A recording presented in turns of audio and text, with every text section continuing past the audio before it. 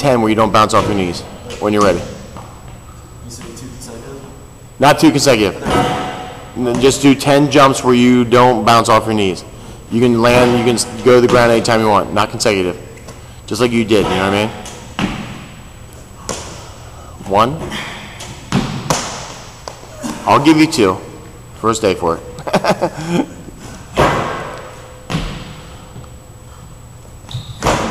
Three. Four. Try getting knees and toes up a little more in front of you. Five. Six. Seven. Knees up, toes up more. Eight. Get your hands back to your hips. Nine. Ten. Good.